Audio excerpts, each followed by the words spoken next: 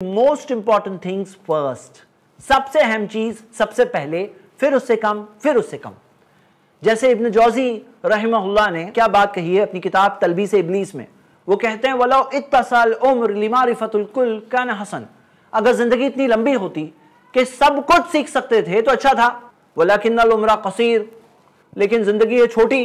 फयम बगी इसारम वलफजल तो हमें चाहिए कि सबसे ज़्यादा अहमियत और फजीलत वाली चीज़ें पहले सीखें। जैसे स्कॉलर्स ने अपनी किताबों में लिखा है कि फ़ावल दर्जत ज़का के समझदारी का सबसे पहला दर्जा यह है कि एक तालब इल्म को अल अहम फल मुहिम सबसे अहम चीज़ पहले सीखना चाहिए, फिर उससे कम, फिर उससे कम। मतलब बात क्या है मेरे भाइयों, मेरी बहनें? सबसे अहम चीज़ क्या है? अल्लाह को पहचानना। अल्लाह हमारा रब है, अल्लाह के एहसानों को पहचानना। अल्लाह ताला का तारुफ, हम कलिमा पढ़ते हैं, ला इल्लल्लाह, उसे पहचानना कि अल्लाह हमारा रब है, कौन है अल्लाह? ताकि हम अल्लाह के साथ किसी को शरीक ना करें। क्योंकि अल्लाह ताला ने कहा है कि जो मेरे साथ किसी को शरीक करेगा तो अल्लाह ताला ने फरमाया इन अल्लाह ला यगफिर युशरका भी अल्लाह हरगिज़ माफ़ नहीं करेगा कि तुम अल्लाह के साथ किसी को शरीक करो। तो सूर्य निसा सूरा चार, आयत नंबर फोर्टी एट में अल्लाह ने कहा, सबसे पहले सबसे अहम बात यह है ना कि हम अल्लाह का हक पहचान ले कि अल्लाह हमारा रब एहसान कितने सारे हैं तो क्या हम अल्लाह के बारे में नहीं जानना चाहेंगे? कितनी अहम बात है। हम कलिमा पढ़ते हैं, प्यारे नबी मोहम्मद सल्लल्लाहु अलैहि वसल्लम का मोहम्मद रसूलुल्लाह।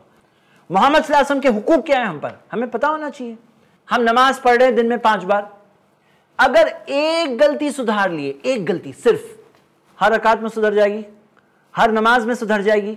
क़यामत के दिन जब अल्लाह के सामने खड़े होंगे तो हमारे नमाजों का जो हिसाब होगा ना, उसमें कितना फ़र्क आएगा? सिर्फ़ एक गलती सुधार कर। तो क्या ये ज़रूरी नहीं कि हमें नमाज़ को सुधारना चाहिए? तो उसी तरह मेरे भाइयों में बहनें, ये जो अहमियत के मुतालिक जो चीज़ है, उसको समझना बहुत ज़रूरी है।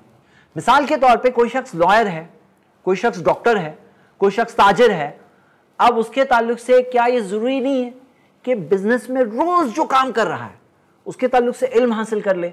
आज अल्हम्दुलिल्लाह ऐसी फतवा की वेबसाइट्स हैं जिसमें लाखों सवाल मौजूद हैं।